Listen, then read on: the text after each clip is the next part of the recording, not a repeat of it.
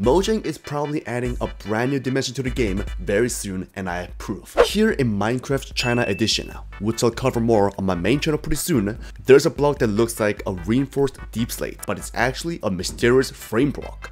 There's also a mysterious flame slot block that looks like you can put something in there, just like the end portal frame.